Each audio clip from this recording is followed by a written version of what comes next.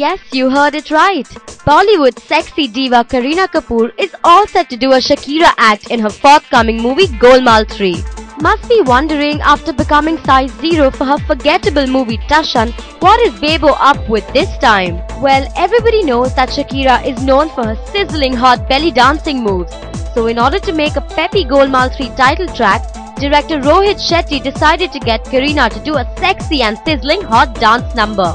What's interesting is that in the male-dominated comic flick, the only oomph factor worth watching will be Apni Kareena Kapoor. Looks like after doing a Catwoman act for Golmaal Returns, Bebo is certainly planning to give a tough competition to Shakira this time with her hip shaking.